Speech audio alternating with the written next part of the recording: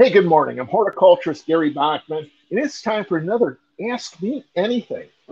Um, apologize, we had a little bit of a disruption with the first time. We've got a thunderstorm going on down here in Ocean Springs right now, and that's probably what kicked us off.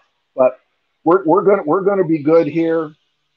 Hopefully, keep our fingers crossed. And because we had a little bit of a glitch, I you know let's just chat about some, some things and let people get a chance to, to come to come back in and ask questions about what's what's going on in their land, landscape and garden. A couple things I wanted to you know just give you some tips. Um, and and and first one is who likes coffee in the morning? Well, this guy does, but I also like the flavored coffee creamers. And you got to be asking, okay, what does this have to do with gardening, right? Well, I just wanted to show you my, my, the current flavor I'm, I'm enjoying right now. Be pebbles. How, how can you not like that? But this has nothing to do with coffee and coffee creamer. What it has everything to do with is saving the containers because these make great containers for fertilizer. If you're going to go out in the garden and, and, fertilize a little bit, you know, you can mark right on the um, on the um, used container here. This is 13, 13, 13. Um, you know, Osmocote, obviously you don't have to write um, Osmocote on there. But what's so easy about this is just open it up and, and you just, just sprinkle it out. It's way better than carrying buckets and bags around, uh, which, which, which tend to get heavy. When we're talking about, um, you know, containers, bags, buckets. Earlier this earlier this year, and I don't see how I'm going to do this, but what I'm going to do is I'm going to do a little weightlifting here, I guess. And I was I was showing a tip earlier on a, on a daily dose support, and I hope everybody's um, following the daily dose support. You know, I like to use these. These buckets are great you know, you put fertilizer in them. The tops that you buy, the cheap tops you buy, you have to pry them off. And they break and they break your fingers. Well, I found these twist off tops. And I found these at Uline um, online. I've found them recently at Home Depot has them. And they work great, but hoisting a five gallon bucket of fertilizer or lime or whatever around, it's hard on these old bones. So found something a little easier. I found two gallon buckets. And again, with the with the screw off top. Makes makes it so much easier, so much more convenient. And by getting a if you want to call it a clear white or, or a plain versus the ones that have the Home Depot Lowe's on them. Kate then uses her Cricut and customizes them. So all my buckets are labeled what's what's in them, and I, I, th- I think this is just a, a, a, slick little idea, you know, to have a little bit of fun in the garden. Other things to talk, talk about. I don't know. Do we do we have anybody on here, Ellen?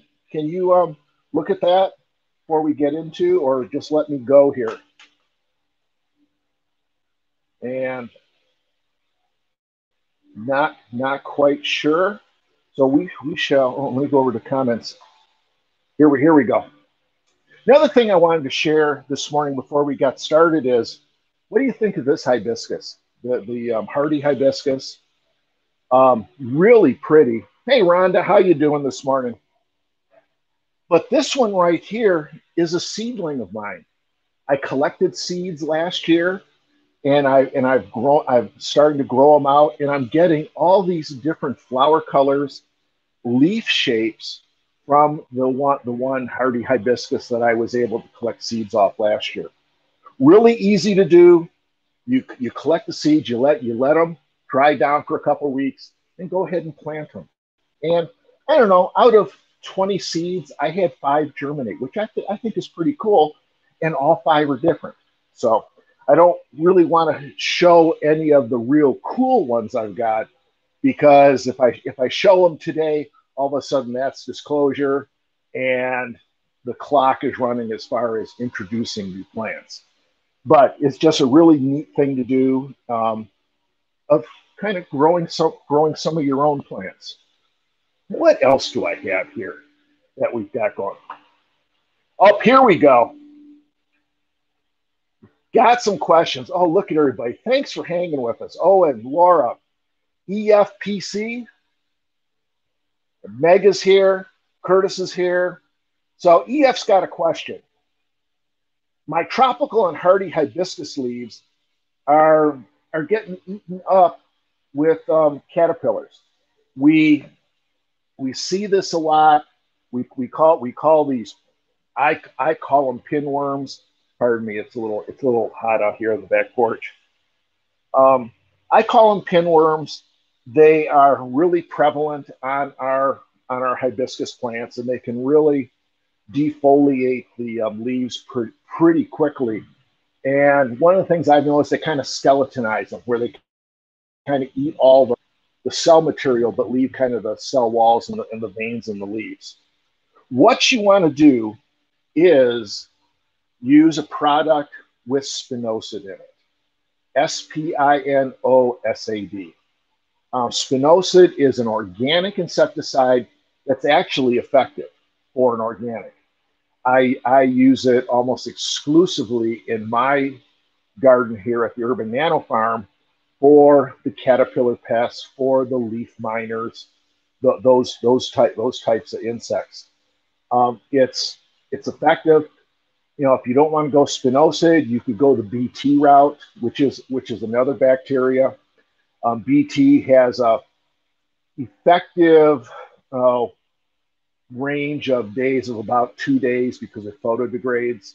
The spinosad is actually a translaminar where it moves into the leaf, and when the insects chew on it, then they take they take up the the insecticide, and has an effective date range of about 21 days, so you don't have to apply as much.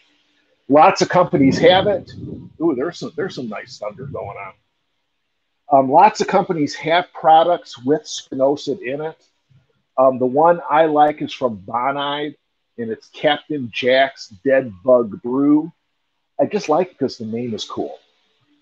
But any of the products that have that have spinosad in it will will work will work fine. And then the other question, oh, and EF, and he's growing hardy hibiscus from seeds. I, th- I just think that that is just a fun thing to do. So let's see. We got we got Shauna's here. Tommy's here. Oh, listen, and you're, you know, you, you're you're you're well. You're welcome. I mean, I, I have fun sharing what we do here at the Urban Nano Farm, and, and I, I like to show folks look, I garden just like everybody else. Okay, and, and I and I and I learn just like everybody else from doing different things in in the garden. Let's see, Rhonda's using Captain Jack's. I mean, it's it's fantastic.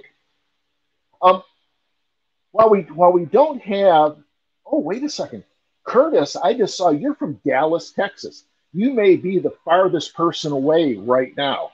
There there may be something for you at the at the end. Now Meg has a, a question. I have a Meyer lemon. It does have lemons on it now, and it's in its original nursery pot. So you're probably thinking it's like probably one of those tall, maybe two gallon or three gallon pots. I'm I'm, assu- I'm assuming. Right, but I want to put it in a bigger, nicer looking pot. Can you do it now, or should you wait? Yeah, listen. Um, you can go ahead and do it now. Once you find that pot that you that you want, Meg, go go ahead and, tra- and transplant it. Um, the, the thing is with container plants that growing in the container gives us that flexibility of going ahead and planting whenever because we're not disrupting the root system.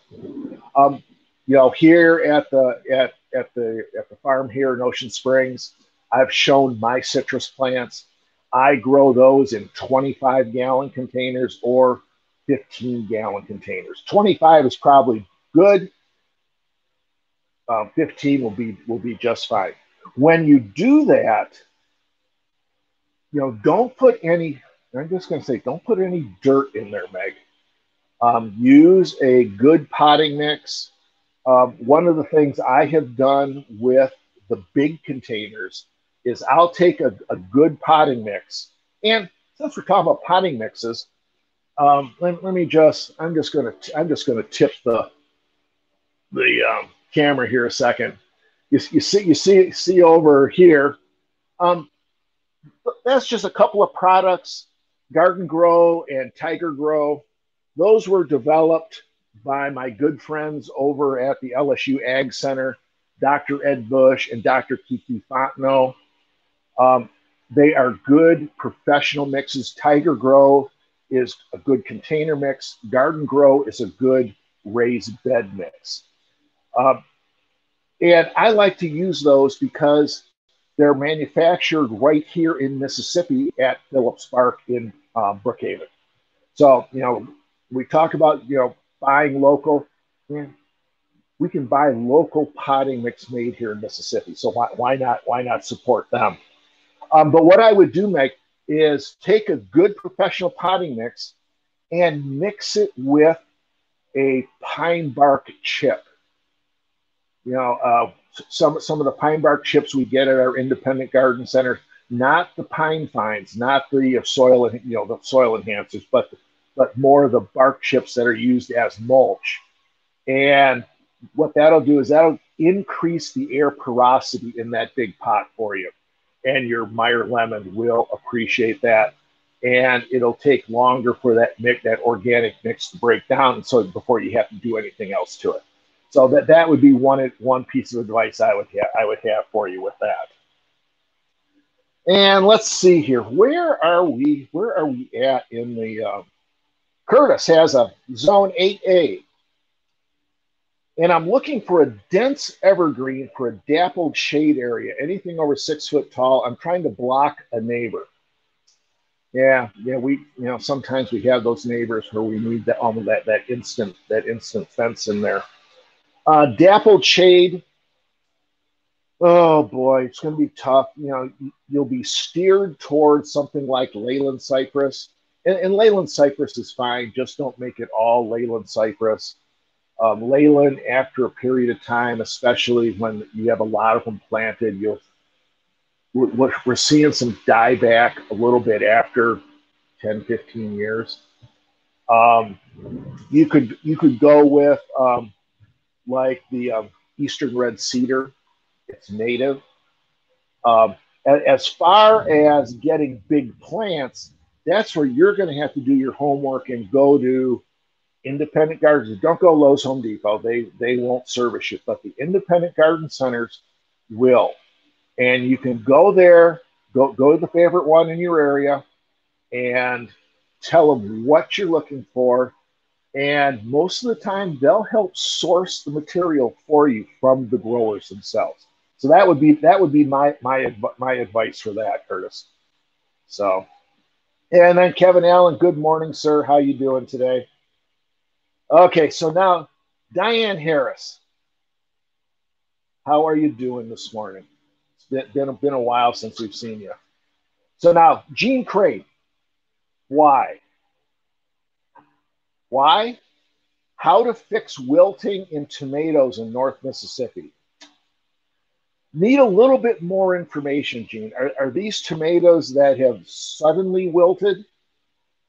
Or are, are these tomatoes that have kind of just kind of declined and are wilting due just to just to weather conditions? If, if it's sudden wilting, it's probably more of a bacterial wilt um, and there, there's really no fixing to that. There's really just you have to rotate the tomatoes to different spots. That that's where that's where we see a lot of the uh, the wilting that that's going on in tomatoes. It's playing tomato after tomato after tomato in the same spot. Also, Gene, are these in the in ground or in containers? So if you could give me some more information, I may be able to help you a little bit more with that. And then Dale's got a Question I'm noticing some yellow veining on my gardenias and my hydrangeas. Would it be safe to add iron at, this time? I've never used it before. Well, it could be an iron issue, Dale. It could be it could be something else. Um, with a lot of rainfall with gardenias, if the root system gets oversaturated, let's say, then it, it could be an iron issue. You, you, you could be on the right track but iron becomes becomes unavailable in these situations where there's a lot of soil moisture, a lot of root zone moisture. So just adding more iron isn't necessarily the, the issue. Um, to tell you the truth, what I would do is I would take a soil sample to your county extension office and get a sample done. It could also be a pH issue. And one of the things um, that I caution home gardeners about is just going ahead and we see these and just think, well, it's got to be this. And it may not be this, it could be that. Um, but the eight bucks for the soil test will give you a lot of information and then you can make a more informed decision. It could just be a nitrogen deficiency but but we don't but we don't know that. So that that's that would be what my um, advice would be. Go go ahead and do that. Now here now, Laura, it now she's in zone eight A, and, I, and I've lost your question. There we go. What kind of sun do peonies like, and is there any truth to the idea that dumping ice on them in the winter can trick them into thinking they're getting enough cold since we don't really get enough freezing weather for them? Okay, so now my experience with peonies is full sun. Um, haven't seen many peonies um, since we've moved to Mississippi. You know, co- coastal region, especially. You know, once we get to northern Mississippi, we'll we'll see more um, see more peonies. Um, and so I would just say the full sun situation. Now, the other question about dumping ice on them to make them think that they're in the winter to kind of trick them. I really don't think that'll work. I, I, I think that you couldn't dump enough ice on those plants to, to trick them because you're going to have to cool your, your entire soil profile for for that. You know that that's a that's an urban legend that um, Augusta National, the golf course where the Masters is played, that in years where they were trying to hold the azalea bloom back because they were blooming too soon, that they would just load ice trucks up and put piles of ice out in the out in the um, the landscape beds to try and slow the azalea uh, azalea flowering down. I, I just I just don't look. You could try it. Okay, I'm not saying it won't work. I just don't I just don't think you can make or buy enough ice to do that. So interesting idea though. So now Rhonda, yeah, we're getting almost daily rain, some one to two inches every few days, zone eight central. Okay, I fertilize with Jacobs Organic for annuals and perennials. Do I need to fertilize more than normal since the rain is flushing the fertilizer through the soil so quickly? Okay, so there, there are a couple, couple of things here, Rhonda. Yeah, I know we have gotten a lot of rain here in Mississippi.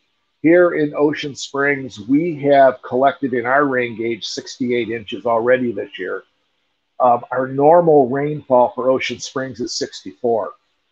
You know, look, we've got five and a half more, five and a half months more to go. So I, I think we're going to be dealing with um, with, with this um, soil moisture issue.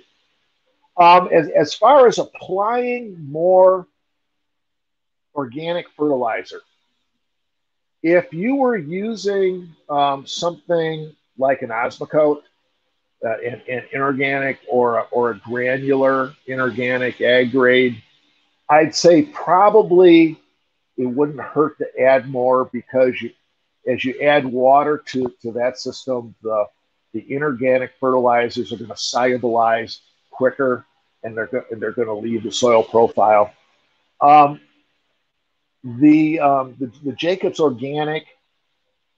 Now that particular one, I'm not familiar with. I've never used it, but many of our organic formulations require microbial action along with heat, along with moisture. And I would guess that that's not releasing uh, nutrients as fast as an inorganic because there's just there's just more steps that have to happen for it for it to for it to release. Now, would it hurt? No, wouldn't wouldn't hurt at all. But I, I'm not I'm not sure that that you need that you need to do it. Okay, so I, I just leave that just leave that up to you. Okay, so Curtis, you are welcome, sir. Okay, so Jean got back to us. Her tomatoes are in the ground and sudden wilt. You know, Jean, in that case, what really is happening here, that's going to be a, that's going to be a bacterial wilt. And if you're if you've been planting in the same spot year after year after year with the tomatoes, you can build up that inoculum, that population of the bacteria that can, that can cause that can cause the issue. Um, I would I would go ahead and plants that are suddenly wilting, I just go ahead and pull them, um, and then consider growing in a different location. Or let me let me give you another idea of growing your tomatoes in containers using a peat-based mix. Um, and, and, I'll tell you why I say that. I'm a committed container grower. Um, I, I grow everything in containers. If, if you watch our daily doses, again, there's another shameless plug for our daily doses of pork. Um, if you watch our daily doses, I grow everything in containers and I use peat based potting mixes. As far as tomatoes go, um, I like to grow them in earth boxes.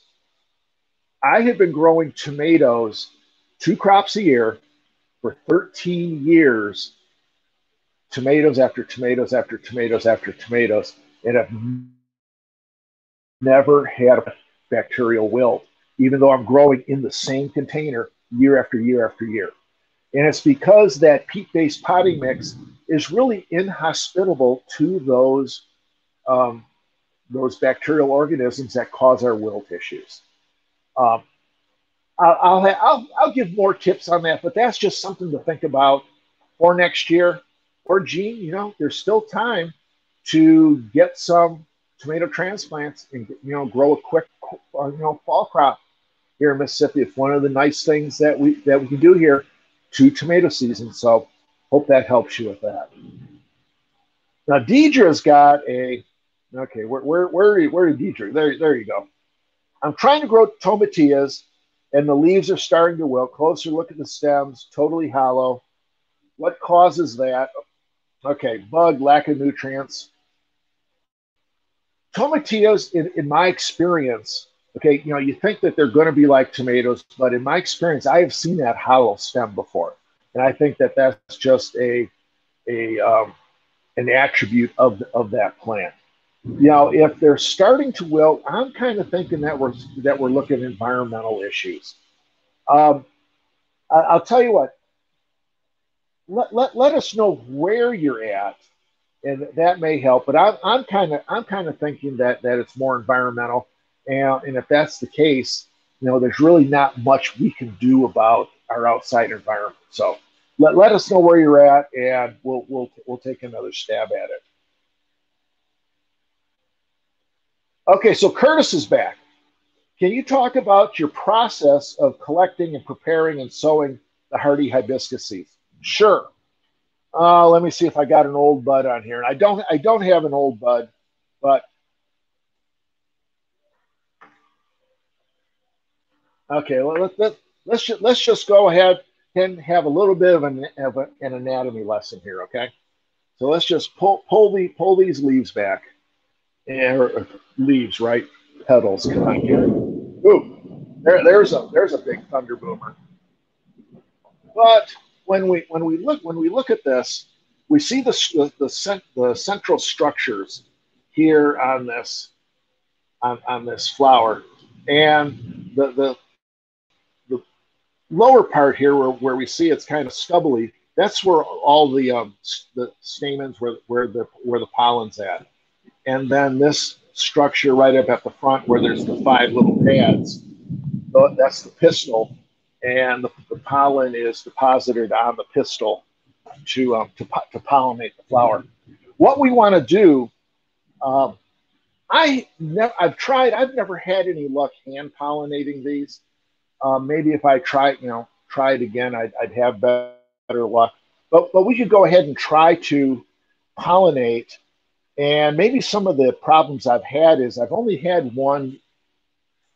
Hang on a second here. I'm, I'm, I'm, I'm losing my, my, my flower. I've only ever had one variety, and I've tried to self pollinate it. Maybe the hardy hibiscus, you can't self pollinate, you need another plant.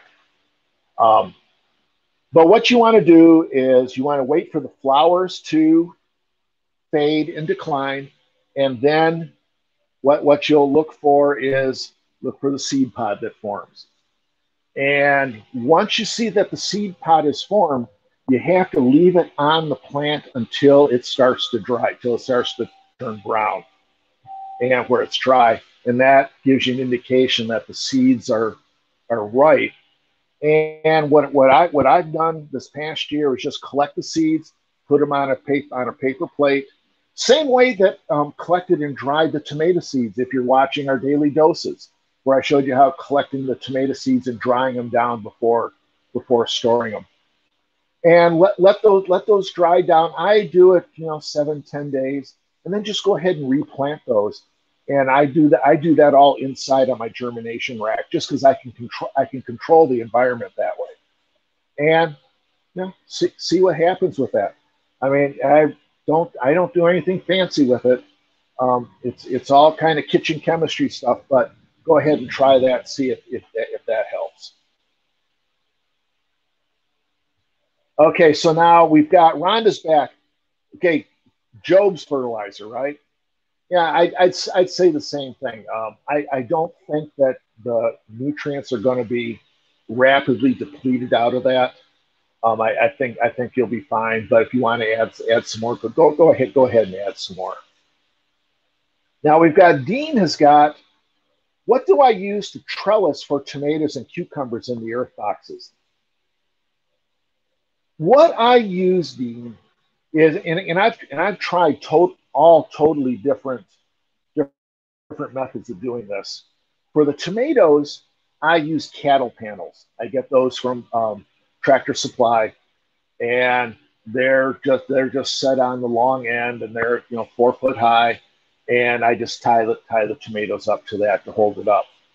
The um, cucumbers, I use the trellis kits that come from Earthbox. Now the trellis kits, I mean, they're they're slick. They're made for the earth box. They work really well. But with the kits, they, they come with a kind of a string trellis that lasts you one season. I went ahead with that, and I got some. Oh, I'm going to say um, chicken wire hardware cloth, like three inch three inch by two inch openings and I and I attach that onto the um, Earthbox trellis so it, it's something solid, and just just let the um, the cucumbers crawl and um, hang out on that. That that's what that's what I did. I just adapted what Earthbox has. Okay, so now Wanda is my my lawn is turning brown in patches. Now I will tell you, Rhonda, with with this, how about sending me an email southerngardening at msstate.edu with pictures of your lawn. That would really help me out a lot. But I'm, I'm going to give you I'm going to give you some some some of my thoughts here. Lawn care company us is this a current lawn care company or somebody that you've had come in and look at it? it has told me I have a fungus due to too much rain. Yeah. How can this be if it's only in patches and no other person in the neighborhood is having this problem? we're getting all the same kind of rain. Okay.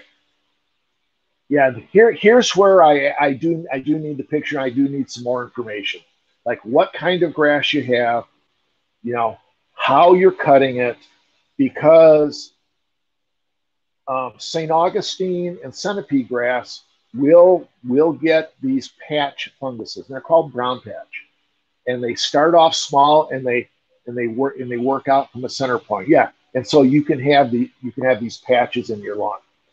It's a little unusual to have those now we tend to see those patch diseases kind of in the shoulder seasons when it's starting to warm up in the springtime and when it's starting to cool down in the fall, but we have a lot of rain. We, when we get these these temperature zones, I'm going to say in the 60 or the 50, 70 during the day, though it may it may be a little little you know little off either way on temperature wise. But when we get those those moderating temperatures, we start seeing these patch diseases. And once you get them, there's not a lot that you can do to cure it. You can stop the progression, but you can't repair the damage that's already done. And so in the spring and fall, we'll recommend putting a contact fun- lawn fungicide, chlorothalonil is, is one. There are others out ahead of the conditions where these where these where these um, fungal pathogens will grow. Um, if you've got something like St. Augustine now in the summertime with all this rain, you could have something that's called St. Augustine decline, and that's bad. Um, it's it's actually a, a pathogen that we fungal pathogen that we can't cure. We can suppress it, but we can't cure it because it's a combination of too much water, which you know we, we can't do much about it with the rain, and too much fertilizer. And sometimes when we over fertilize, we run into problems too. So send send me some more information to that email, and, I, and I'll I'll be able to get you some get you some some better info to help you with that. So if you'll do that, that that'll that'll work great. Now, Rhonda, love the earth boxes. This year's tomatoes had no wilt, fungus, bugs, blossom end rot. Hey, listen, send me some pictures of that. Um, I think the earth box growing system is is the way to go. You know, my background is greenhouse nursery production. I, I can grow just about anything in a pot, and I have 136 earth boxes here at the house. I, am a firm I'm a firm believer in that. Uh, my tomatoes, I pulled my tomatoes out over Fourth of July weekend, and I've, I've got my new ones sown that we'll plant next month, and I, will keep everybody up to date on that with the Daily Go support. Okay, so let's let's see what else we got. Deidre is in Clinton, and I and I and I've already forgot what your question was. Trying to go Tomatillas. Um, I'll tell you, Deidre, give. Have you had any success? If so, what tips? Um, as far as success with tomatillas, growing in the earth boxes, treating just like I did the tomatoes and everything else. Tell you what, give the um, truck crops branch station in Crystal Springs a call. Um, they, they, have, they have a couple of great vegetable folks there that maybe they can give you some better information than I can. Just, that's just look, it's just another source of information for you. But the truck crops down down at Crystal Springs, and see if you can get get some advice on that. Okay, so Robin, do I have a second growth of bell peppers, or do I pull up and replant like the tomatoes? Well, Robin, all of my peppers I treat different than the tomatoes. My tomatoes, I always I'm shooting to plant April 5th. That's our frost date here on the coast. And then pull July because they're not producing in the summertime, replant in August. The peppers, I don't plant at least until May 1st or even May 15th. Because what I found that early pepper plants don't like the, the um, root zone temperatures. Even in the earth boxes, it's a little cooler than they like. And years ago, I, I did a I did a comparison study where I planted some with the tomatoes, and I waited to May 15th to plant a second batch. And you want to know something? They all fruited at the same time. The peppers just like hotter weather. And my peppers right now are just going gangbusters. We just did a daily dose showing the pepper plants and they will continue to grow now all the way through the fall. So peppers, I, I don't I don't replant. I think if your if your peppers are running out of gas, it may have been planted a little early. Give them another shot of fertilizer. Maybe maybe even prune them back by half. Let them push some more new growth. and, and keep right on going. Uh, but I would I wouldn't replant. And Owen, can, can I grow fall purple hull peas in central Mississippi? If so, is there a time to plant? I'm going to say, Owen, you could try. I've never grown purple hulls. That is just something that is just not in my wheelhouse. You know, but I'm always saying, look, if you want to try it, try it and, and, and see what happens. I like planting things kind of off the traditional planting schedule. So may, maybe you could have some success with it. Um, it listen, if, if you'll send me an email at that uh, Southern mstate.edu with that, I'll get I'll get you a better a better answer to that. But that that's just you know if you want to go ahead, that's my quick answer for that. Now, Curtis. Okay, this is funny. I promise not to ask any more questions. Now you can you can ask, you can ask all all all all that you want. Okay, I'm talking about containers. Have you ever tried the bottomless container method for permanent placement in the garden? I'm looking at height in the middle of a garden bin. Came across this idea. I just don't know what the pros and cons. I read you can plant shrubs and ornamental trees in this method.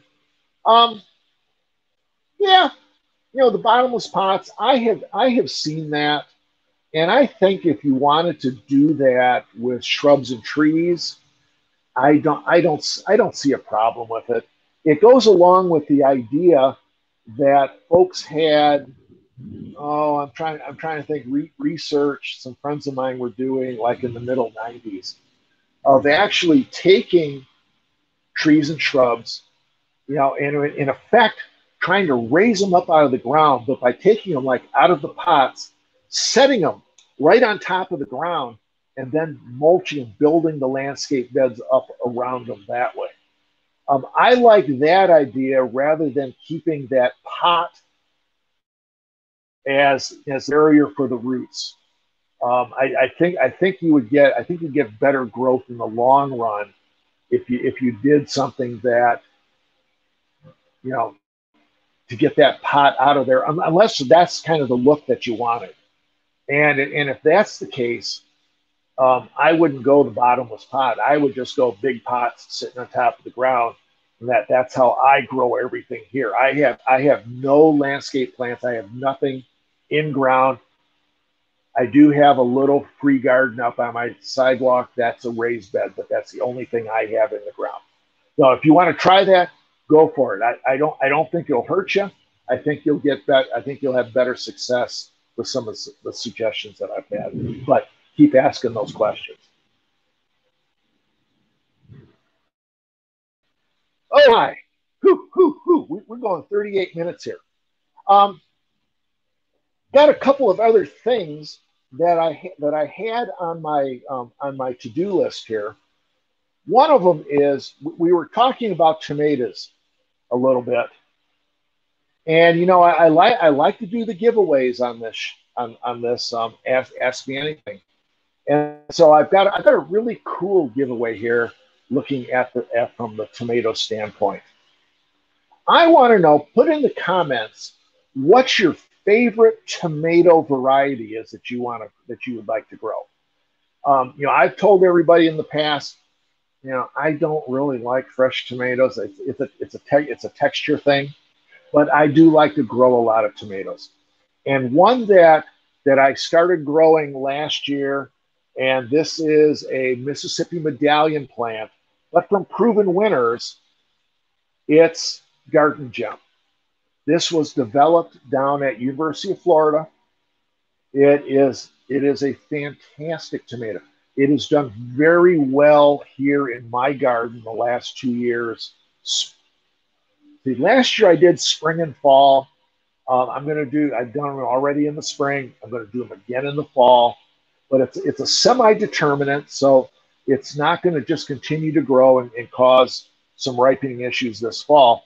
But garden garden gem, and I'll I'll pick a, ra- a random comment and send you know contact you and then, then send these out. It, it's funny. I did a Southern gardening um, column earlier this year talking about the Mississippi Medallion tomato varieties. And everybody wanted to know how, how can we get Garden Gem? And so send them send them the information. And you can only buy these from proven winners. And everybody's big hang up on it was, well, they're eight bucks a pack. There's only 15 seeds. And I, I look at that thinking, you know, you know, are you going to buy a cheaper pack of seeds and plant 40 tomato plants? I, you know, probably not. You know, th- this is this is, you know, even if you buy it, not win it this this week, this is this is a great tomato to try. So, anyways, what's your favorite tomato? And we've oh, we've already got people want want the the garden gems. We've got the Marion pineapple tomato. Never grown the pineapple. I've grown a lot. I've grown a hundred different heirloom tomatoes here, looking for tomatoes that will grow here in the in the deep south. Big beef, black Krim, better boy, sweet 100. Again, Marion, black cherry, Fourth of July. Sharon, isn't Fourth of July a fun tomato to grow. Um, I got turned on to that one by my friend Ron Wilson. He has a national radio show every Saturday morning. It's in the garden with Ron Wilson. And Fourth of July is his favorite tomato. Well, I, I call him and I kid him about it that we grow Fourth of July, but we need here in Ocean Springs, we need to call them the Fourth of June because that's when they ripen for us versus Fourth of July in um, Cincinnati, Ohio. So that's that's that's in, that's interesting. Let's see. Cherokee Purple is great. Creole is great. Um, now, Meg, I don't eat tomatoes either. Husband is tomato tester, and and he just last night tried a new tomato I grew for the first time. He says Black Beauty, great one. Celebrity is good. Granny Smith tomato. I've never heard of that one. We may have to, we may have to try try that out. Heat Master. Oh yeah, Heat Masters. Um, th- those type of tomatoes. The Creole. An old one that we grow here that's an oldie but a goodie. It's Homestead. That was developed at University of Florida in nineteen. 50s, and it gets zero leaf spot leaf disease on it here in our environment, where others just are defoliated. And okay, yeah, Fourth of July. So yeah, so listen, I think this I think this is all great, and I appreciate everybody hanging in here with us, asking all these questions. I, I am going to give you one more tip before before I go ahead and, and um, and sign off for today. Um, on a daily dose, so Fourth of July, I went ahead and I planted my fall tomatoes. And I started using this technique of not planting one tomato in a pot, but doing these dense plantings in a in a container and then separating them out and transplanting into their final um, final transplanting container. I got this from Joe Lamp'l, Joe Gardener podcast. If you, if you haven't seen Joe Lamp'l, check him out. Growing a Greener World. But sowed these on fourth on actually July 5th, and today is the 16th. So now this 11 days. Look at look at this. Germinate them in on my rack, um, 80 degree um, bottom heat. Boom, they were up. Now, one of the things I, I'll get a question on is how, how do you water this kind of this kind of growing arrangement? Because if you water from the top, you're just going to knock knock all these seedlings down. Well, take one of these little lab bottles, you know, little squirt bottles, and this one I do a little bit of a, a um, dilute Miracle-Gro solution. But you can go ahead and, you know, can, can you see how I'm able to squirt that in there? And I can I can go I can go ahead and water this pot without disturbing the little seedlings right now. I think it's I think this is a really neat idea, especially any any of your indoor plants. It's a way a way to efficiently water. So with that, you know, I didn't even get to all the questions I had on here, which is good. I'll I'll just go ahead and save them for next time, okay? If that if that's fine with everybody. Yeah, Sharon. Yeah, growing a greener world is, is a great show. I mean, you just get some great information from them. So with that, listen, I'm just going to say thanks for joining us this morning. So if you got any questions that I didn't answer live, go ahead, put them in the comments or email them to me, southerngardening at msstate.edu. And, you know, that's a great way to get a hold of me. Uh, go ahead, keep following us on Facebook, Southern Gardening, Instagram, Southern Gardening. Share us with your friends. Be sure to watch, you know, daily. I, I'd say our daily dose of hort. I don't do daily ones anymore, but three or four a week and see what's going on here at the Urban Nano Farm. So with that, thanks guys. Have a great weekend. And look, we'll, we'll see you next time for uh, Southern Gardening. Ask me anything.